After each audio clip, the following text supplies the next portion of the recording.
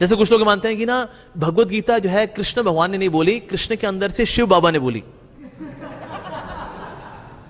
अच्छा शिव बाबा ने बोली, सर। तो शिव बाबा कृष्ण के अंदर बैठ के गीता क्यों बोले, सर?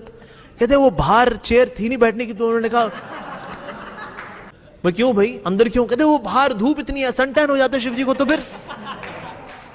तो उन्होंने कहा, कृष्ण, मैं आपके अंदर बैठ के गीता बोल लू मैं प्लीज़ तो जितने ऐसे बांगड़ू भटूरे लोग जो बोलते हैं कि ना, गीता कृष्ण ने नहीं बोली है। वो तो शिव बाबा उनके अंदर से बैठ के बोल रहे हैं। वाह, क्या बात है।